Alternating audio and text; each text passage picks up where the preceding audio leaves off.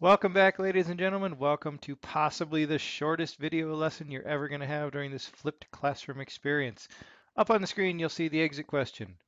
Fill it out in the form later. Today, we're going to talk about the converse to the Pythagorean theorem. And the converse, just like any other converse, is just the theorem stated in reverse. The Pythagorean theorem says that if you have a right triangle, then the sum of the squares of the two legs is equal to the hypotenuse squared, or a squared plus b squared equals c squared. The converse says just the opposite. If you are given three lengths of a triangle and you plug them into the Pythagorean theorem formula itself, or the equation itself, and find that equation to be true, then that proves that those three lengths make up a right triangle. Now, you've probably done this a million times already in your math career, but I'm just stating this again. It's officially a theorem now that you can use, Theorem 7.2. There are, however, two smaller theorems that are based off of this idea. I would almost call them a corollary, corollary to the Pythagorean theorem, but they're slightly more meaningful than a corollary. So here they are, Theorem 7.3 and 7.4. And basically what it says is if you have a obtuse angle, uh, then c squared is going to be bigger than the sum of the squared of the legs of the hopefully right triangle. But if you find c squared to be larger than the other ter two terms added together, then it will be classified as an obtuse triangle. And if you find that c squared is less than the sum of the other two sides squared, then that triangle will be acute. Now, a couple things to remember is that a triangle is always classified by its largest angle. So that means that uh, these classifications that come along, acute and obtuse, don't mean that all angles in the triangle are acute, which is possible, or that all angles in the triangle are obtuse, that's impossible. But it means that the largest angle is still acute or the largest angle is still obtuse. The second thing to remember when using these two theorems is that you still want to arrange, plug in the numbers into the inequality in this case, such that the longest side is substituted in for c squared because you're thinking, basically just go through it and assume that it is a right triangle. So throw the longest side into c squared. And if you find the equation in theorem 7.2 not to be true, then it's not a right triangle, and then make a determination whether it's less than or greater than the sum of the other two sides squared.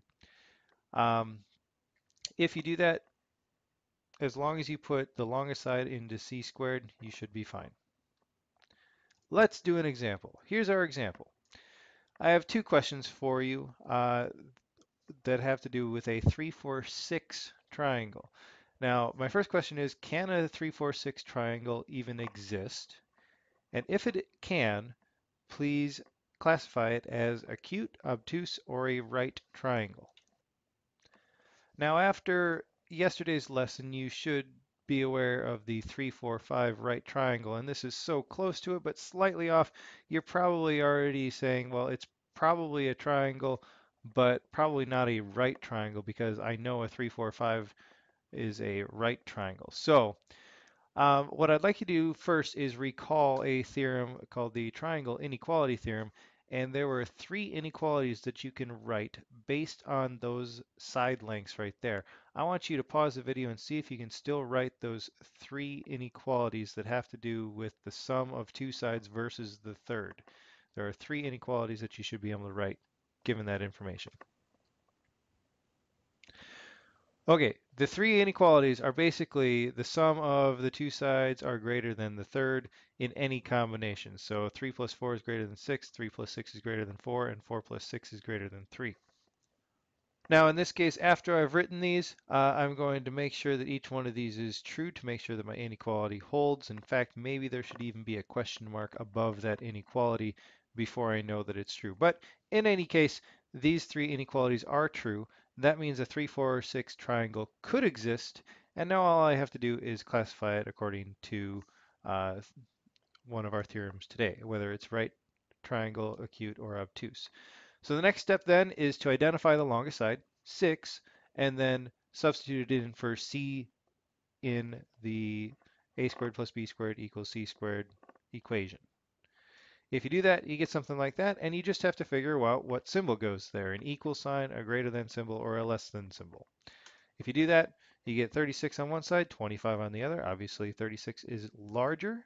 So in this case, we have 36 is larger than the sum of the two legs squared. So therefore, the hypotenuse is bigger, and therefore this triangle will be obtuse.